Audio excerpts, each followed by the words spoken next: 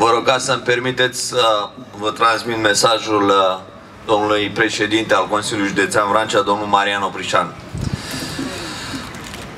Doamnelor și domnilor, stimați militari, astăzi, de Ziua Armatei Române, este prilejul cel mai potrivit pentru a vă arăta prețuirea și aprecierea noastră față de dăruirea și profesionalismul cu care dumneavoastră, militarii, vă îndepliniți misiunile.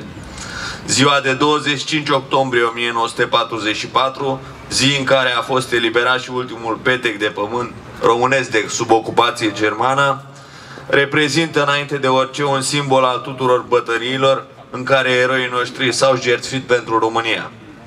În războiul de independență, în primul război mondial sau în cel de-al doilea război mondial, vorbim despre eroismul dumneavoastră și despre rolul și locul pe care armata l-a avut în istoria României.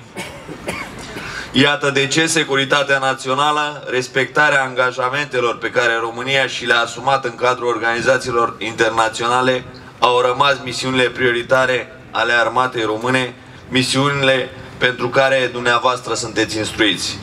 În acest context internațional de securitate, Vrancea a plătit prețul de sânge pentru ca România să își respecte angajamentele asumate ca stat NATO.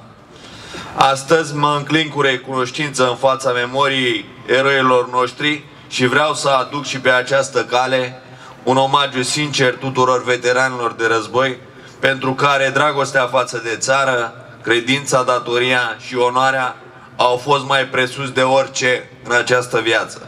La mulți ani armatei române, la mulți ani dumneavoastră, militarei garnizoanei Focșani, Vrancea vă stimează și vă prețuiește. Vă mulțumesc și așa să ne ajute Dumnezeu.